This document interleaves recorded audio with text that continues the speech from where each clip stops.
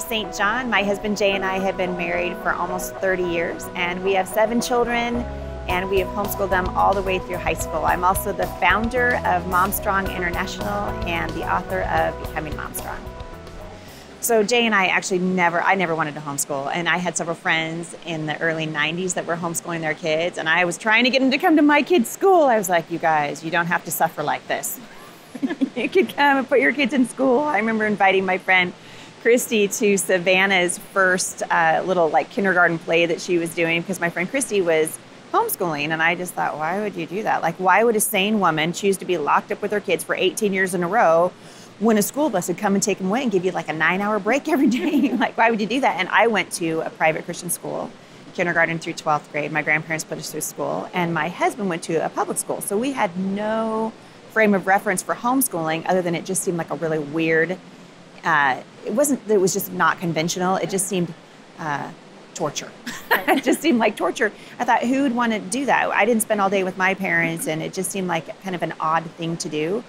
And so we went ahead and put our daughter in the same christian school that i graduated from. And after about a year we were like we're going to have to live on rice and beans. Like if we have other children this is going to get uh, really prohibitively expensive. And so i looked into public school which was a new experience for me and in first grade, we put her in uh, into a public school, and in second grade, we moved to a little town in just south of Portland, Oregon, and we put her in school there. And she had she didn't have a bad school year. I liked her teacher. Um, what I didn't like, and this is where it sort of started for me, what I didn't like was what she was hearing on the playground. I didn't like the conversations I was having to have with her when she would come home, things that she was hearing on the school bus and uh, I began to, and then and then for our daughter Sierra, who's two, so both of our girls are grown now in their 20s, so um, in their in their mid to late 20s, and Savannah was in second grade, and Sierra was going into kindergarten. I went to enroll her in kindergarten, and the uh, public school administrator said, "Oh, she missed the cutoff by like a week and a half," and I was like. What am I gonna do with her? Like she's she's ready to go to school. She's chomping at the bit. She wants to do what her sister's doing, and Sierra was kind of devastated because she wanted to ride the bus with her sister and uh, I, I, I went ahead and thought, well, I'll do something with her to sort of pass the time for this year. And so I went to a homeschool supply store in uh, Milwaukie, Oregon, just a little bit south of Portland. I went to a homeschool supply store and I was like, I went in and I said to the guy, I'm like, hey, my name's Heidi. I'm not interested in homeschooling. I was just like, I just want to make that clear. this is me telling you, I'm not here to do your crazy voodoo homeschool thing.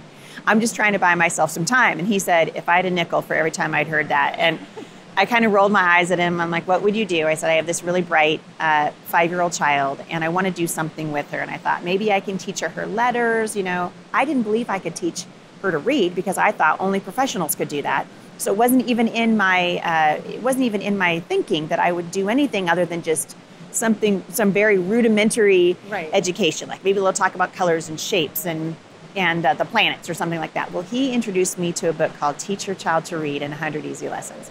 And so I got out of that. I got out of there pretty unscathed that day. I only spent like 15 bucks, which, as we all know now, I mean, we call the homeschool supply store the $100 store. And so I got out of there for $15 and I went home and I started to do, a, I did a lesson with Sierra. The very next day I had a lesson with Sierra. And it starts off really simple. And here's my little, you know, my little five-year-old daughter. She's so excited. She wants to learn. And I teach her one lesson, two lessons, two weeks go by. And before I know it, she's sounding out basic words. And my husband came and I was enjoying it. I, I loved watching the, the light bulb come on and watching her want to sit down and read with me. And I loved spending time with her. And I started to feel a little bit regretful every morning when the school bus would come and pick up Savannah, my older daughter. And I realized I am accomplishing with Sierra in 25 minutes to an hour every day what it's taking the school system eight hours a day, five days a week to accomplish with my older daughter. And I just started thinking about all the time that she was there. And then she would come home from school and, the, and she'd be so tired that she didn't want to talk to anybody or she'd get in squabbles with her sister. And there were just a series of things that happened that I, I began thinking, you know, maybe there is something to this homeschooling thing. And maybe it's not as completely weird as I thought. And maybe I can do it even if I don't own a jumper and grow my own brain. You know, maybe I can do it. And so uh, my husband came home from work i think i want to say it was maybe a month or two into it and i i mean i couldn't wait for him to come home every day and i'd be like sierra show your dad what you can do and she's you know saying things like she's sounding out the word am. And I'm like, I did that. You know, I taught her how to do that because I felt like I'd been lied to. Sure. People said, you can't, you'll leave that to the professionals. You can't do that. And I realized um, Sierra is learning at a faster pace than her sister. We're building a culture in our family that I had never even dreamed that we could have. I'm taking her to the library, and I've got I had an infant son, uh, Skylar, at this point, who's in his 20s now, also. But you know, for us having those three children, one of them is at public school all day long, and I'm home with the other two. And through a series of just events that happened, uh, one morning I was leaning over my husband, waiting for him to wake up on a Saturday morning. You know, when your kids when your kids sort of lean over you and you're sleeping, and they wake you up by their presence. Yeah. I was trying to do that with my husband, just waiting. I'm just chomping at the bit. I want to talk to him about homeschooling. And, and he finally, you know, looks up at me. He's like, huh, you know.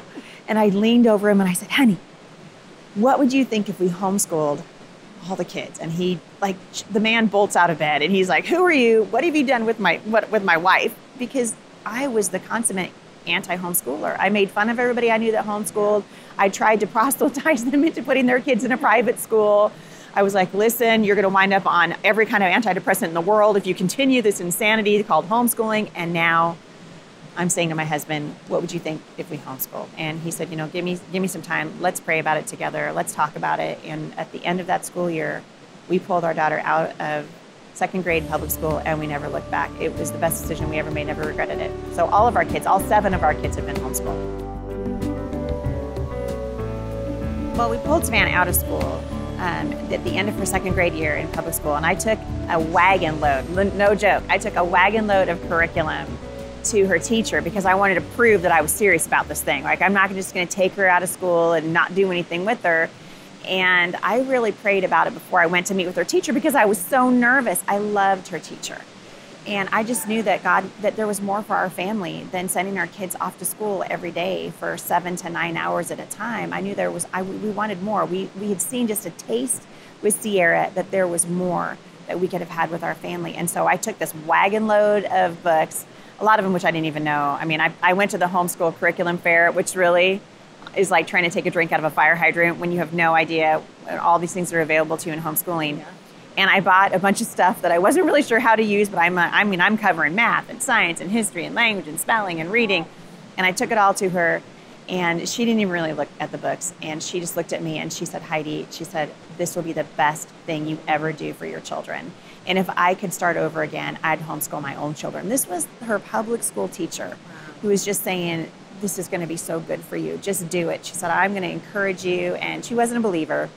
But she just blessed me and encouraged me. And that's kind of, we just started our journey at that point. And we have tried, I think one of the beautiful things about homeschooling is that if you try something and it doesn't work, you can stop midstream sure. and make a course correction and try something that does work. And so I started doing the only thing I knew how to do, which was exactly how I was schooled. So I got a bunch of workbooks from the same curriculum company that I knew that my school used when I was growing up.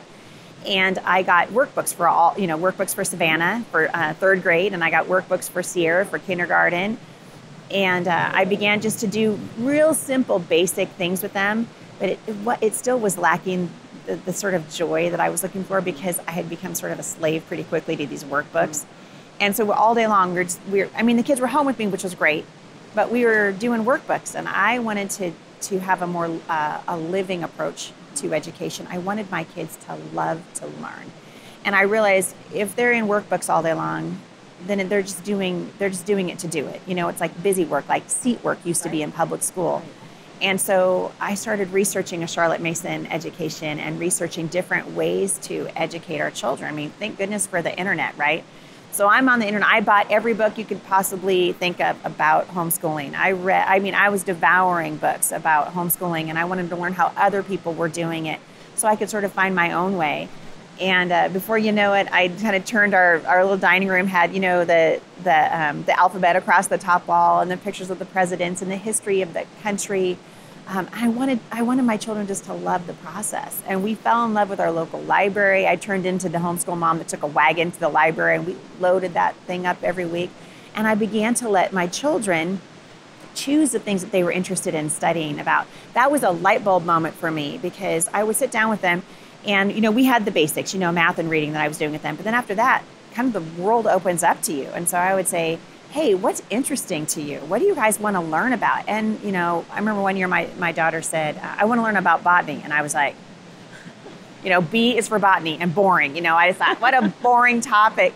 But I found a book, uh, I think it was a, an Apologia science book by C, uh, Jeannie Fulbright on botany.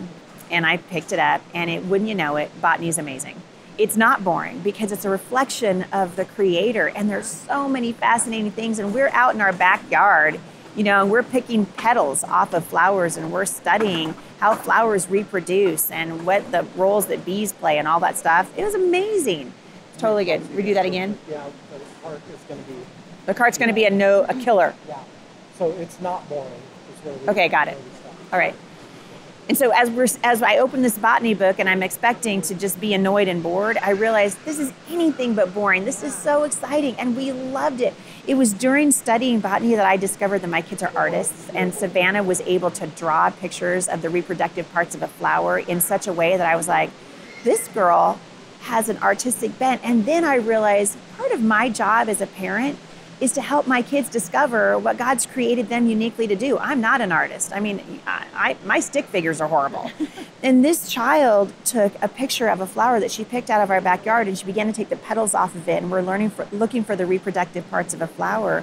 And she started taking out uh, colored pencils and sketching it out. And it was beautiful. And so after that, I thought, I'm going to give this child access to art lessons. And we began to learn about watercolors and acrylic paints and oil paints and all of those things. And so that's the beauty of homeschooling, right? So one thing sort of leads to another. So we start out studying botany and God's creation and, and how uh, the, the uh, ecology works for plants in different parts of the country. And we wind up realizing she's really good at art, and this is something also that we wanted to pursue. So, really, we've tried just about everything that you could try over the years because we have seven kids. So, what worked with our first daughter might not work with our sixth daughter, and what worked with our second son might not work with the first one. And so, it, you have the opportunity to really customize and tailor the education to meet the personality and the giftings and the strengths of that particular child. And it really, it, I mean, it, to me, it's just a wonderful, joyful journey. Yeah, it's one of the best parts of homeschooling because you know your child better than anyone else knows yes. them. You love them more than anyone else loves them. And not that, you know, the public school teacher or private school teacher doesn't love them, but they don't know them like you do. And they, they can't possibly care about them the way that you care about them because yeah. they're yours. Yeah. And so having that one-on-one relationship and being able to just see in them what makes them, you know, what makes them tick. Jump, yes, yeah. and, and say, oh, this is so exciting to me, yeah. or even the things that are a struggle for them. You know, we've we've really discovered, you know, our, our daughter, our oldest daughter, she loves homemaking. Um, she wants to be a wife and a mom. That is her, you know, yeah. dream in life. That is how God made her. It's a wonderful. So dream. she loves homemaking things. Her grandma's teaching her how to sew. She loves learning how to cook. She loves experimenting in the kitchen and making messes. And um, it's so much fun to watch that. But she doesn't have to be an expert in science and history and math yeah. to do those things. Now, those things are important to know, but they're not essential for her yeah. to do what God has called her to do yeah. in her life. Well, and you're getting a chance to really connect with your child. You know, I went to a, a, a really good private Christian school all the way through in Portland, Oregon. And uh, I, I think sometimes about my report cards. You know, my mom used to save my report cards, and I was a good student. But on the back of those report cards, starting in like first grade, Heidi's a great student, but she talks too much.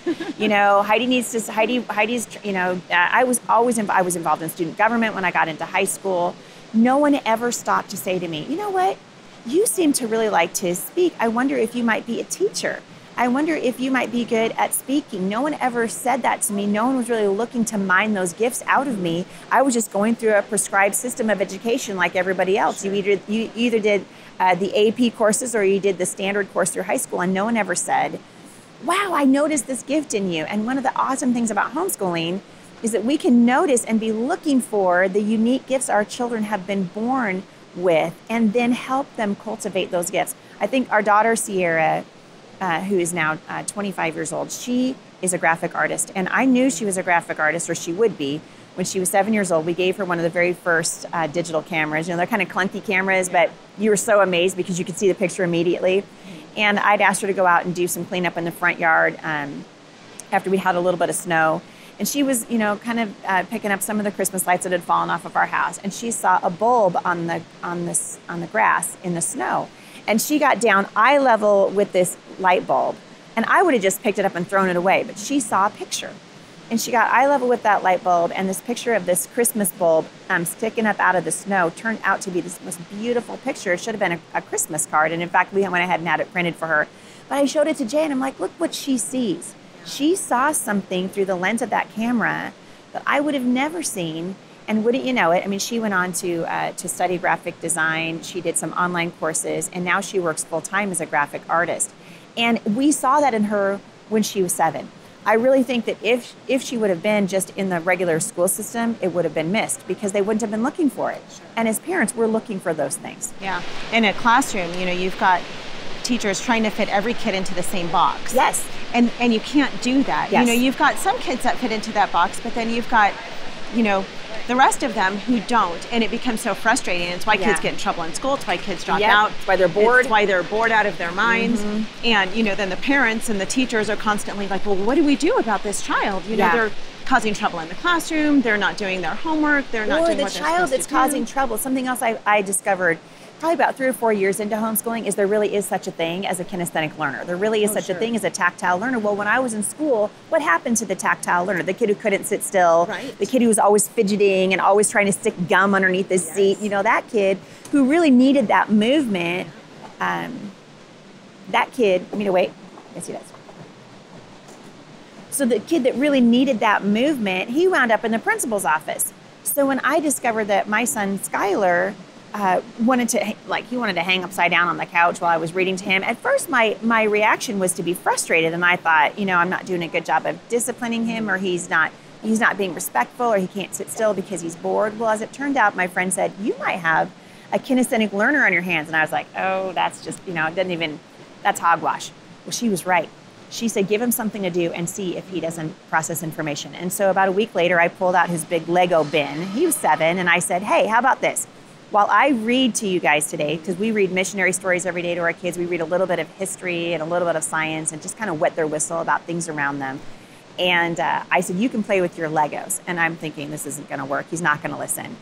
And at the end of that, about two hours of just us all sitting reading and, and me talking to the bigger kids about some things, I asked Skylar questions about what we had learned, questions about Thomas Jefferson because we were reading about Monticello, and just questions about what was happening during that time in history. That kid got every answer. I mean, he knew exactly, and I thought he wasn't paying attention to me. Right. But what he was doing was processing information by moving his hands. And I'll, it was an incredible moment for me just to go, oh my goodness, I would have missed this. I would have missed it. And it's so cool to watch and see this is how my child was uniquely wired to process information. Sure, and then you see how those children grow up to be adults Yeah. who then use their hands. Or, you know, I mean, some are meant to sit quietly at a desk and, you know, Yep. they're made to be an engineer and just be a deep thinker. You know, they can Yep. sit quietly at a desk and, and Yep. design things, and then others are made to build things. Yes. And God gave us all different gifts, Yeah. which is, I, I, that makes, it's what makes the world work. Yeah, it really is. And as parents, we have this incredible opportunity to learn where our children are folded, or, or, or I mean, rather, to learn where our children are bent and fold them there. Yeah. And so we're constantly looking for where is this, where is the bend in this child? What's the unique thing that God created my child specifically for? And how can I find that that bend and then learn to fold them there so that they not only love learning, but they find what God has uniquely created them and designed them to do. And it's kind of an exciting, I think it's a really exciting journey as a mom. Yeah, it really Yeah. is.